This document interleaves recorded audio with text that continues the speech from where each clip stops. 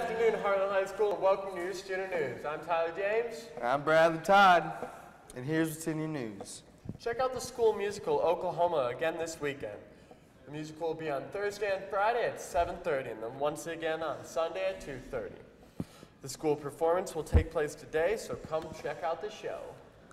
Seniors, you must turn in all books by Monday, May 15th. If you have past due books or fines, you will not be able to pick up your cap and gown for graduation until these are paid. All underclassmen, all books must be turned in by May 31st. To avoid fines, the last day for checking out books is Monday, May 8th. The 8th, it's a big date. Now make sure you get those books in, guys. Prom is coming. Prom will take place on May 5th at Crystal Gardens in Howell from 7 until 10:30. Ticket sales are during all lunches, and the last day to buy them is tomorrow, so make sure you get them. Make sure you pick up one of these whips for your ride there, too. Heck yeah.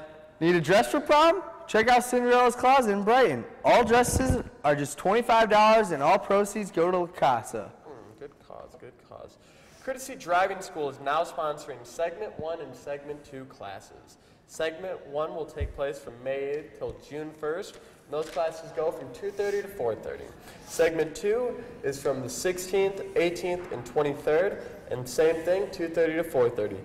Go to courtesydrivingschool.com to register. Battle of the Bands is coming. It will take place Friday, May 19th.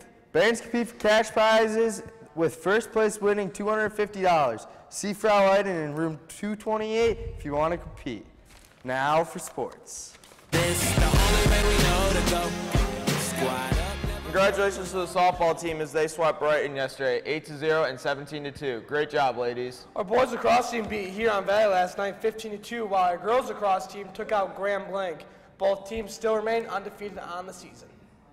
Our girls tennis team travels to Canton tonight. The action begins at 4. The girls soccer team is also in action tonight as they take on Milford. The game is at Milford and start time is 7 o'clock.